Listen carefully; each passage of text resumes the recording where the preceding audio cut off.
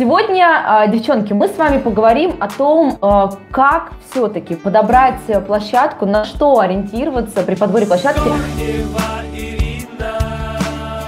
Я думаю, что э, останавливаться отдельно мы не будем, да, на том, что начать подготовку к свадьбе нужно с чего? С подбора площадки, либо с разработки концепции, если э, у вас позволяет бюджет это, потому что все-таки площадка съедает значительную долю бюджета, поэтому э, тут либо одно, либо другое, либо в купе. Я вижу, что многие девчонки пишут мне о том, что вот у нас э, свадьба там запланирована на 19 год, вот нам все нравится, все здорово, у нас небольшой бюджет, э, и мы планируем сделать свадьбу там на полянке, в шатре, там на веранде и так далее. И у меня, естественно, э, тут же идет ответная реакция, потому что я понимаю, что э, при выборе площадки нужно ориентироваться не только на э, то, что находится вокруг площадки, да, не только на то, что какая красивая природа, какой красивый там близлежащие какие-то там места, где можно сделать выездную регистрацию, все-таки стоит еще ориентироваться прежде всего на то, какой у вас бюджет на это заложен. Потому что когда девчонки а, выбирают тот же самый шатер и а, пишут мне о том, что у нас очень маленький бюджет на декор, я понимаю, что, слушайте, ну если у вас а, совсем нет бюджета на декор, то шатер это не ваш вариант, понимаете? Ну, я уже говорила, да, что шатры в принципе немножечко уже уходят в прошлое, но если очень хочется сделать свадьбу в шатре, то нужно понимать, что шатер это большой белый купол. А, чаще всего это купол 200, а, там, э, от 200 до там, 500 квадратных метров. Это большое очень пространство белоснежное, которое нужно чем-то а, заполнять. Там нет никаких там маленьких деталей, там не на чем абсолютно остановиться глазу. И чтобы э, хоть какое-то дать заполнение в этом шатре, нужно реально э, вложить очень большой бюджет э, вот в этот шатер. Это реально нужно понимать, э, бюджет на декор я имею в виду, да, это реально нужно понимать, потому что если у вас нет бюджета, если вы планируете оформить только какую-то одну зону, например, там зону э, выездной, зону выездной церемонии, да, и в шатер вообще ничего не вкладывается, или зону президиумную, то вы же э, понимаете, что это будет просто капля в море, это совсем не будет видно, или если планируете поставить, как, сделать какой-то минимализм, поставить какие-то маленькие баночки там и так далее, то опять же это будет капля в море, это будет совершенно незначительный декор, и его совершенно будет незаметно, только вблизи при хорошем э, глубоком рассмотрении, поэтому если все-таки а, бюджета нет на свадьбу, если бюджета нет на декор, если вы понимаете, что а, есть ограничения, то это должна быть не шатровая площадка, то лучше все-таки уйти на площадку так, сейчас, секундочку, то лучше все-таки уйти на площадку, где есть уже какие-то детали.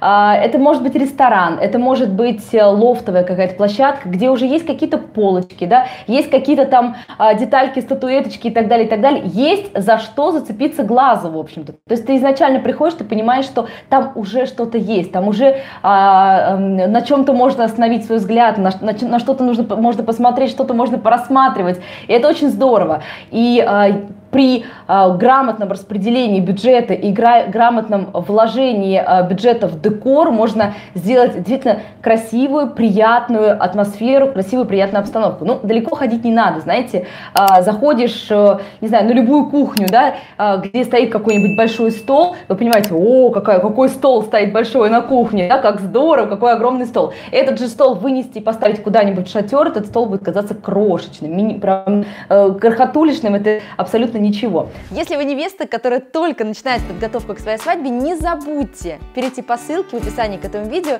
и забрать файл, который я приготовила для вас.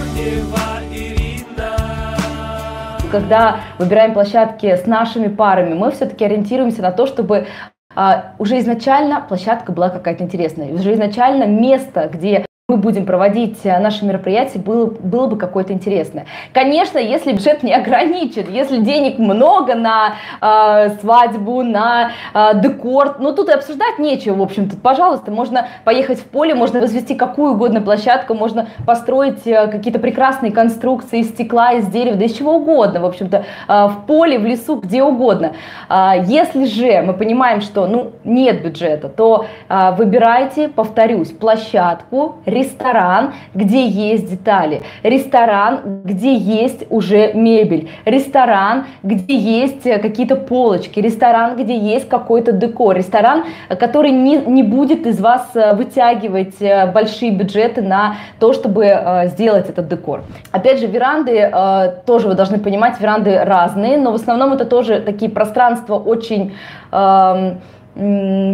не заполненный. И в любом случае, если хочется из этой веранды сделать конфетку, если хочется, чтобы было что-то интересное, красивое, то э, действительно стоит задуматься о том, чтобы э, вложиться в декор, вложить, вложить бюджет какой-то. Хотя вот, например, а, в феврале месяце а, у нас будет мероприятие на веранде, на веранде там довольно-таки заполненные, то есть там есть какие-то мелочи, там есть какие-то а, детали. И изначально, когда мы просматривали эту площадку, мы смотрели на то, что, слушай, вот это, вот это можно здесь использовать, это можно здесь использовать. То есть есть уже какие-то детали, за что мы можем зацепиться, что мы можем использовать в нашем декоре с минимальными потерями, так скажем, для наших молодоженов, чтобы им э, не пришлось вкладывать огромные бюджеты на то, чтобы привести это все на эту веранду, э, если бы она была полностью пустая. Э, я знаю, что есть города, где в принципе нет красивых ресторанов, есть, ну, вот какие-то либо обычные рестораны, либо там ресторан, в котором делают все, да, из года в год делают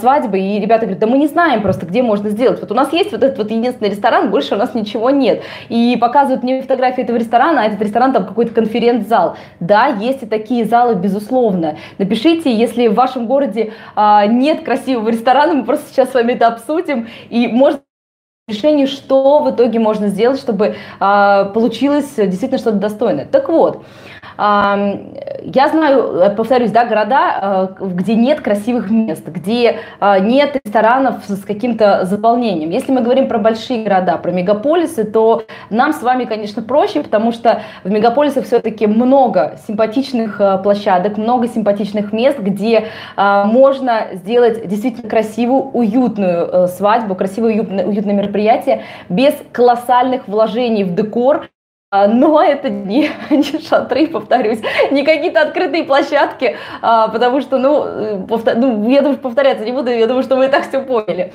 А, про конференц-залы. Буквально недавно мы разговаривали с одним декоратором, и обсуждали вот эту вот насущную проблему, тему того, того что а, во многих городах России нет красивых залов. И декоратор мне показывала историю того, как они делали, переделывали э, со своей командой, с, с командой декораторов, э, переделывали этот зал под совершенно другой зал.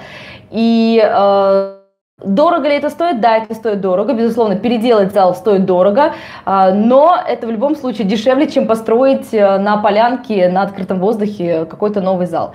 С другой стороны, с другой стороны, опять же, если очень грамотно обыграть, но здесь обыграть то, что есть, можно сделать, э, опять же, красиво, здорово, интересно, а, но, но, очень важный момент. А, если вы понимаете, что в вашем городе нет декоратора, который э, сделает, может переделать зал, может сделать что-то интересное, э, обратитесь в города, в которых эти декораторы есть. Очень многие реально боятся а, обратиться в какой-то крупный город. Вот буквально недавно нам написала девушка, которая живет э, в небольшом городе, она говорит, вы знаете, я просто, ну, даже боюсь спрашивать, сколько это может стоить, я даже боюсь спрашивать вообще, в принципе, можно ли, допустимо ли такое, чтобы а, ко мне, там, в мой город приехал там а, отдельно организатор, там, команда декораторов, я даже боюсь об этом спрашивать. Я могу вам сказать, что это абсолютно нормальная вещь, и это практикуется, и э, декораторы выезжают э, в другие города, для них всегда это интересно, это новый опыт, это первое. Второе, э, для них это портфолио, они могут показать, э, как они переделали, как они сделали какую-то новую интересную картинку. Но когда это в команде с организатором, команде там с фотографом, команде с, видеографом, когда каждая сторона заинтересована, то но здесь даже обсуждать нечего. Безусловно, это интересно, поэтому в другие города декораторы прекрасно выезжают и делают какие-то колоссальные, потрясающие конструкции, и так далее.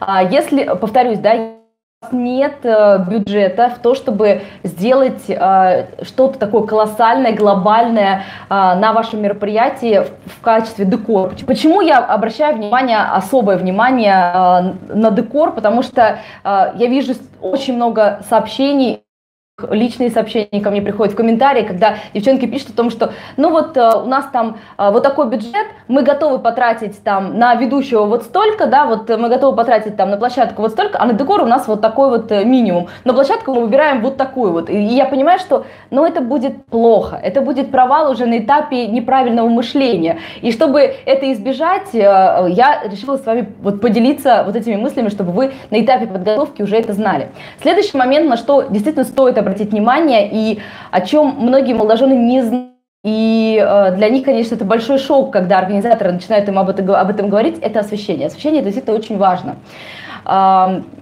Что я вообще подразумеваю под освещением? Это не светомузыка, которая играет, которая там сверкает и так далее. Нет, это совсем другая история. Освещение – это то, что создает объем. Освещение – это то, что, в принципе, из чего можно создать картинку. Кстати говоря, многие проекты как раз-таки а, конфер...